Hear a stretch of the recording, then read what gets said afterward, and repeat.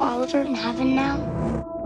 What if I could bring your son back to you just one more time? There's an abandoned temple.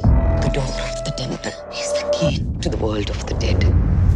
You will be able to speak to your son, but no matter what you do, you must not open the door. Oliver? Is that you? Mommy, I miss you so much.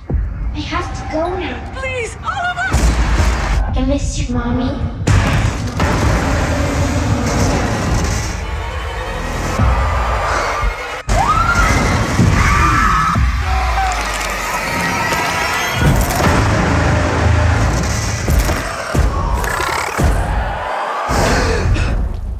I have something to show you.